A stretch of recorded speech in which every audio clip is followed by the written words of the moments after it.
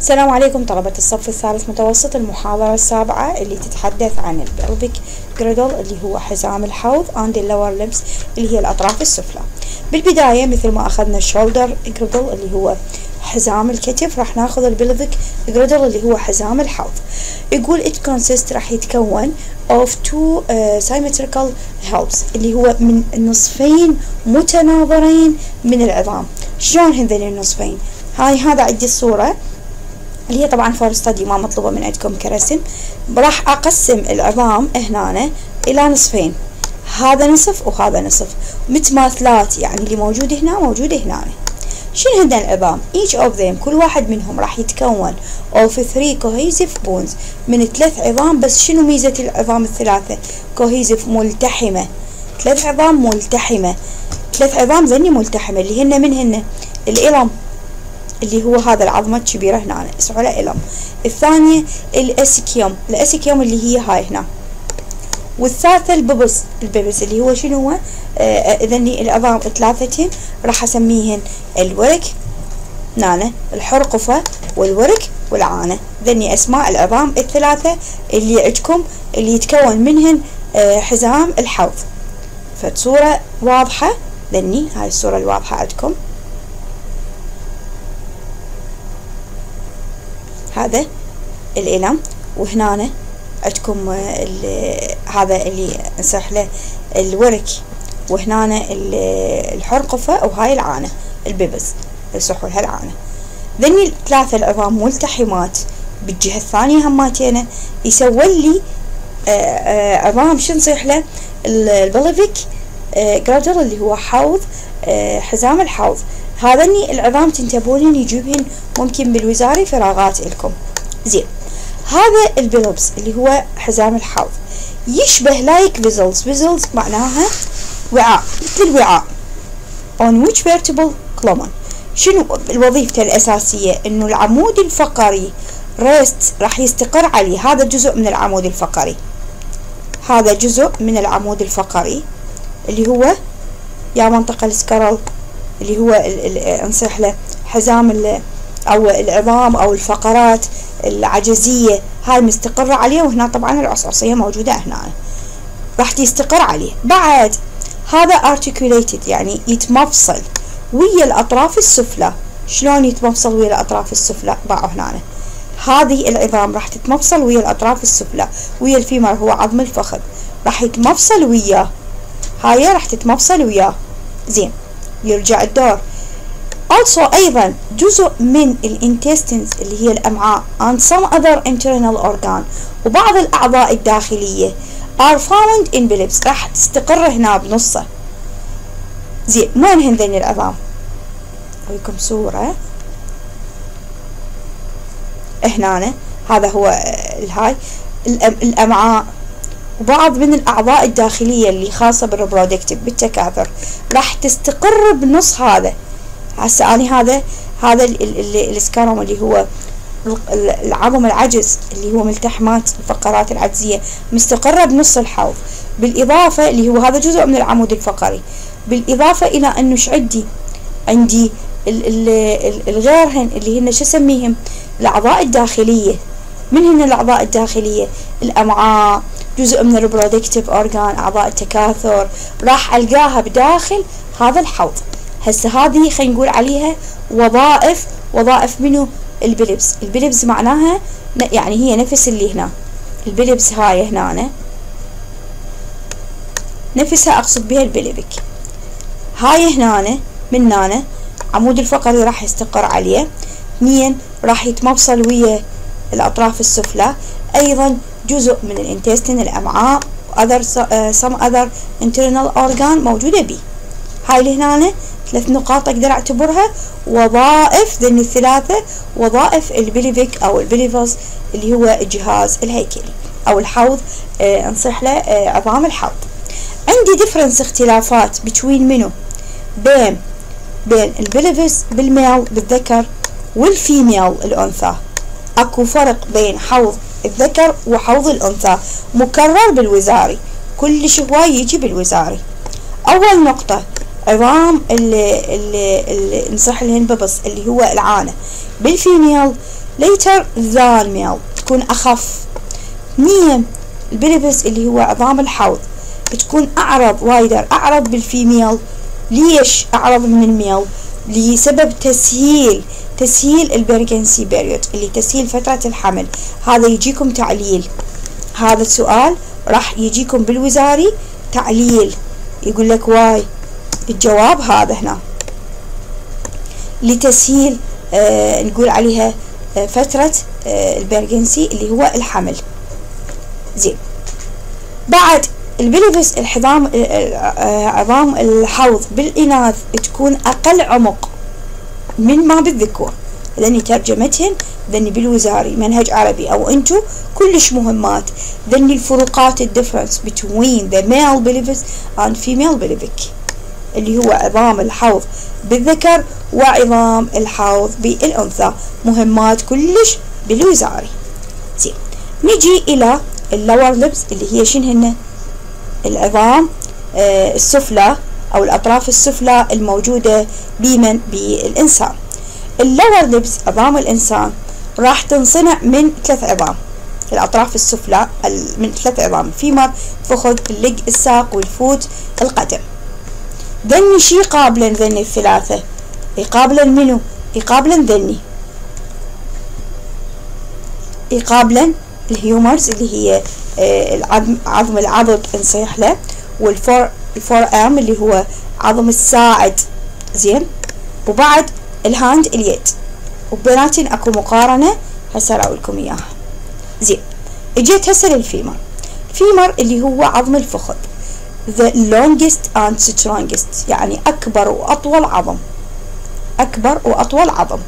بالجسم and and and it corresponds corresponds يطابق أو يماثل هيومرز العضد الموجود باللبر لبس بالأطراف العليا. From it form هسه أنا راح أجي أخذ هذا العظم. هذا العظم راح أخذه من الأعلى من الجانب العلوي والسفلي. وش بيه؟ من الجانب العلوي مالته راح يحتوي على spherical head رأس كروي. اللي يدخل يدخل بيمن بتجويف اسمه ال acetabular اللي هو شنو هو هذا؟ تجويف الحقي هاي سحولة تجويف حقي هذا وين موجود؟ موجود هنا بعظام الحوض. هنا هذا. هاي المنطقة راح أسوي لي مفصل. يتمفصل عظم ال femur الفخذ من الجهة العليا ويا من؟ ويا حزام الحوض ويا ال pelvic vessels أو ال pelvic girdle. يتمفصل ويا من هاي المنطقة. يدخل ضمن تجويف فراغ هنا. شو اسمه التجويف؟ التجويف acetabular cavity زين. راح يشكل لي مفصل وانتو عندكم محاضرة لوراها. شارحت لكم أنواع ال joint أنواع المفاصل. مفصل اسمه الكرة والتجويف. ball and ال sockets اللي هي الكرة والتجويف هاي من الأعلى. من الأسفل. ال femur راح articulated يتمفصل ويا ال tibia. tibia شنو معناها؟ اللي هي الشظية واحدة من أجزاء الساق. ب knee joint اللي هو مفصل اسمه ال knee joint اللي هو مفصل الركبة. فعندي نوعين من المفاصل. هذا مفصل اللي هو هذا هنا. وعندي المفصل الثاني اللي هو knee joint knee joint معناها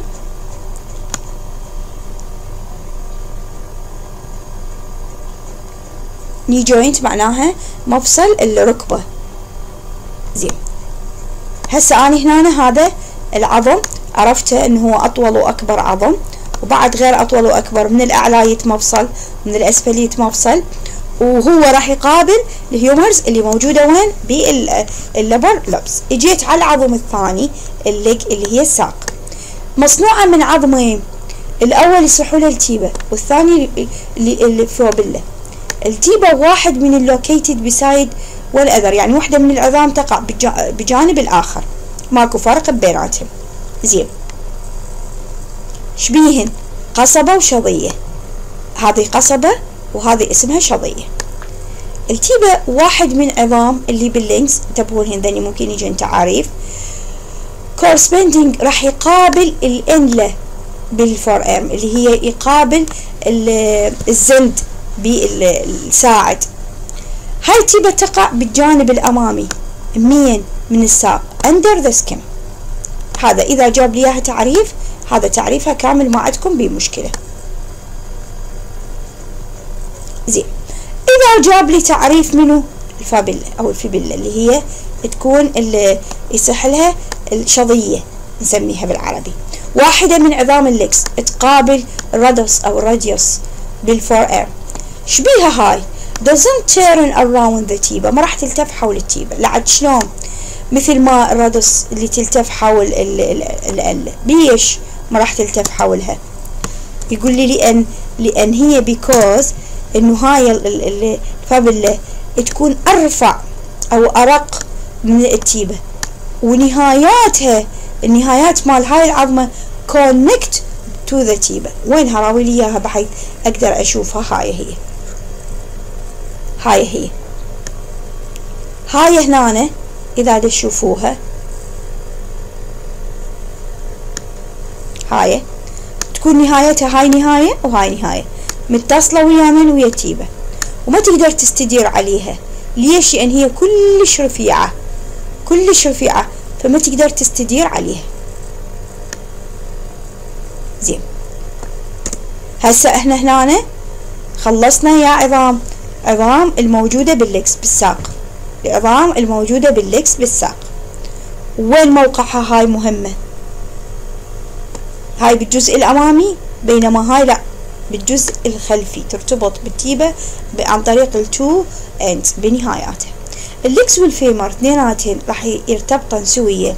يعني عظم الفخذ وعظم الساق عظم الفخذ من جهة السفلى وعظم الساق من جهة العليا يعني هاي الساق من الجهة العليا وهذا الفخذ من الجهة السفلى. يرتبطن سوية عن طريق مفصل. شي صحول المفصل هذا؟ يصيحول ال knee joint. مفصل اسمه ال knee joint. وين هذا ال knee joint؟ هذا. هذا المفصل نوع من أنواع المفاصل اسمه ال knee joint هذا النوع من المفاصل يكون hinge شنو معنى hinge راح ناخذها اللي هو راح يكون حركته باتجاه واحد 1 axis باتجاه واحد مثل مال العلبلة نصيح له. بفوق اكو فوق هذا المفصل اكو فد عظمة صغيرة flattened مسطحة. شو اسمها؟ ال pat ال patella نصيح لها الرضفة. وينها هاي؟ موقعها ممكن تعريف ممكن موقع ممكن وظيفة. هاي موجودة بالجانب الأمامي من ال knee joint هي شنو وصفها؟ هي عظمة صغيرة مسطحة وين موجودة؟ ال front بالجانب الأمامي من ال knee joint شنو وظيفتها؟ ما ذاكر لكم وظيفتها هنا. لعد وين ذاكر وظيفتها؟ ذاكرها بالنهاية تلقوها بمحاضرة رقم تسعة. ذاكرها وظيفتها بس نضيفها إحنا للتعريف. وين ذاكرها بالضبط؟ ذاكرها ب remember. إيش قايل عليها؟ شوفوا إيش قايل هنا. قايل هنا there is patella يعني هاي هنا الرضفة موجودة بالجزء الأمامي منها. وظيفتها protect تحمي هذا ال joint هذا المفصل. زين لهنا.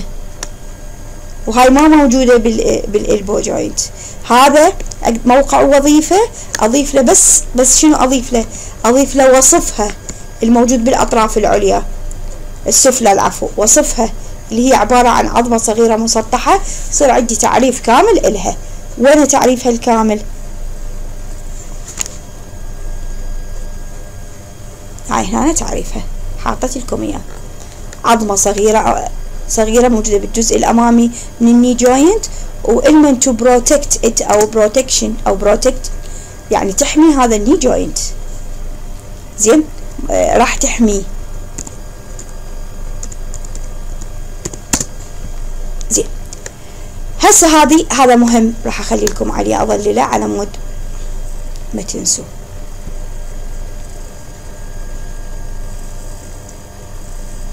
وهنا عندكم تعليل ليش هاي العظمة ما تلتف حول ال tibia شنو السبب؟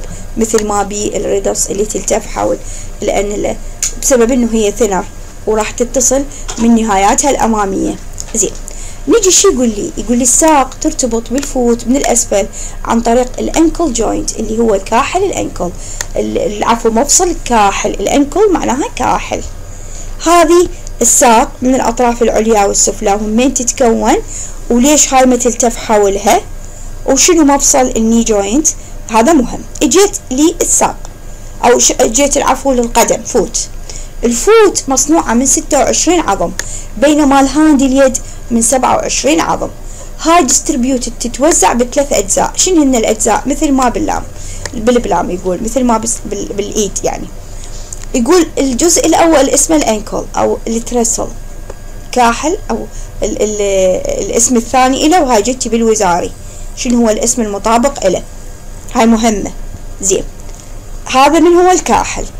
العظام الأولى بالقدم the first uh, bone يعني أول عظم بالقدم uh, راح يقابل منه الرست الرسخ. وبشكل عام هي راح تتكون من سبع عظام.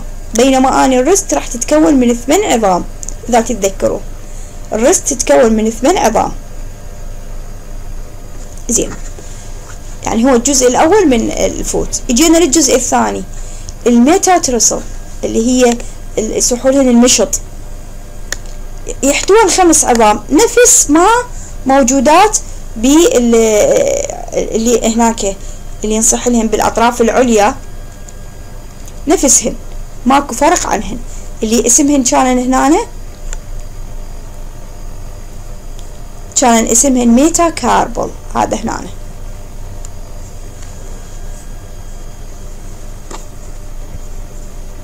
ال metacarpal اللي هي هاي. هذه راح تقابل منو هنا راح تقابل لي اللي موجودة هنا ال metatarsal. تحتوي على خمسة دي جام تحتوي على خمسة. الجزء الثالث ال toes اللي هي الأصابع. هاي تتكون من 14 bones يصيحلين السلاميات ال phalanges السلاميات. تشبه ال fingers باعوا finger وهاي toes بالأصابع الرجل. وهاي ال finger بالإيد يعني هاي بال foot وهاي بال hand then يتوزعن in the same way بنفس الطريقة ال toes يتوزعن بنفس طريقة ال finger نلاحظ إنه هذا ال hallux اللي هو الأصبع الكبير. ما راح يقدر يتحرك. Doesn't move easily بسهولة. مثل ال thumb هسه اصبع الإيد ال thumb الأصبع الإبهام يتحرك بسهولة بينما أصبع الرجل الكبير ما يتحرك بسهولة. ليش؟ لأن وظيفة القدم هي walking مشي. لأن وظيفة القدم مشي فهذا يختلف عن ما هناك. هاي أما أظللها على مود. تشوفوها مختلفة. لهنا خلصت الأطراف السفلى وهذا الرسم هو مداخل. عندي مقارنة بين الأطراف العليا والسفلى. النقطة الأولى منين مصنوع الأطراف العليا ومن الأسفل السفلى؟ جتي مرة واحدة بالوزاري منهج عربي.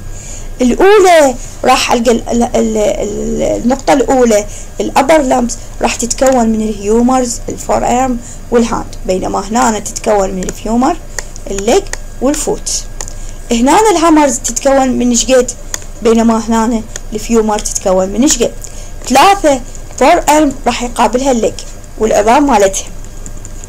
ال hand راح يقابلها ال foot فيصير عندكم أربع نقاط. هاي محاضرتي رقم سبعة. وراها ثمانية وراها تسعة تلقون حل الأسئلة بمحاضرة رقم تسعة. وراح أنزل لكم هاي الملزمة. بنهايتها راح تلقون فد مخطط. هذا المخطط بخلاصة الحكي هيكل محوري وطرفي من يتكون وكل منطقة شنو بيها. لهنا خلص. يعني خلصت المحاضرة السابعة وخلصت الأطراف العليا. أتمنى تكونوا استفاديتم بيها. ومن عند هاي المحاضرات. وشكرا جزيلا لحسن أصغائكم.